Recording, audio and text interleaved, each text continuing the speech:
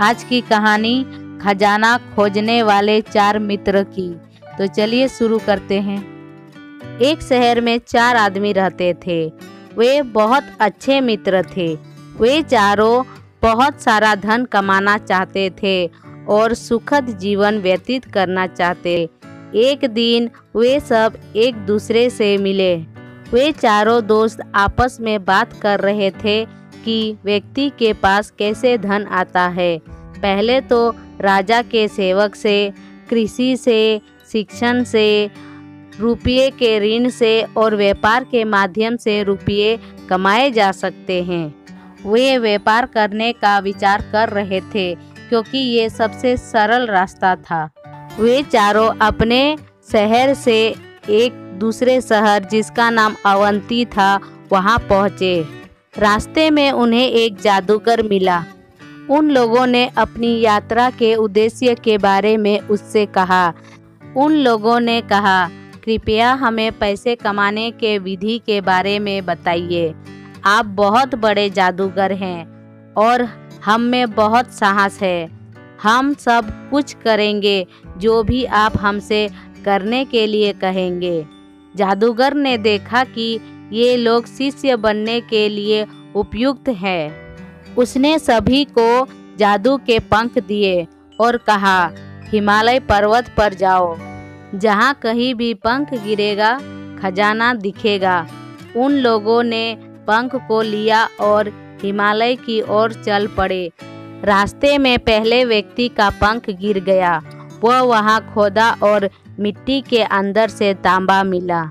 उसने खुश होते हुए कहा, मित्रों, तुम्हें चाहिए तो सभी तांबा ले लो। लेकिन उसके मित्र ने कहा, हालाँकि ये बहुत सारे तांबा हैं, परंतु इससे हमारी गरीबी दूर नहीं होगी। उसके तीनों दोस्त आगे चल पड़े और वो अपने तांबे को लेकर घर आ गया। कुछ दूर चलते ही दूसरे व्यक्ति के हाथों से भी पंख गिर गया। वहाँ पे उसे चांदी मिला। वह दूसरा व्यक्ति बहुत खुश हुआ और कहा, मित्रों, मुझे चांदी मिला है। क्यों ना हम इसे आपस में बांट ले? लेकिन उसके दोनों मित्रों ने चांदी लेने से इनकार कर दिया और वे आगे बढ़ गए। दूसरा व्यक्ति अपना चांदी लेकर घर वापस आ गया। कुछ दूर चलने के बाद तीसरे व्यक्ति का भी पंख गिर गया। उसने उस जगह की खुदाई की और उसे सोना मिला। खुशी के साथ उसने अपने मित्र से कहा, हमें बहुत ही मूल्यवान धातु प्राप्त हुआ है। चलो इसे लेकर हम घर चलते हैं। उसके मित्र ने कहा, स्वाभाविक रूप से आगे स्थल पर हीरे मिलेंगे। इसी सोच के साथ वह आगे बढ़ा। वह अकेले घूमते हुए पूर्ण रूप से प्यास के कारण थक गया। भटकते हुए वो एक विचित्र स्थान पर आ गया। वहाँ उसने एक व्यक्ति को देखा, जिसके सिर पर चरखा था। आश्चर्य होकर उसने व्यक्ति से पूछा, महाशय, आप कैसे इस भयानक स्थिति में आ गए? जैसे ही उसने प्रश्न पूछा, चरखा उसके सर से खिसक गया और चौथे व्यक्ति को सर में दर्द होने लगा। उसने दूसरे व्यक्ति से कहा, मैं अपने सिर पर चक्र लिए हुए सदी से यहाँ खड़ा हूँ।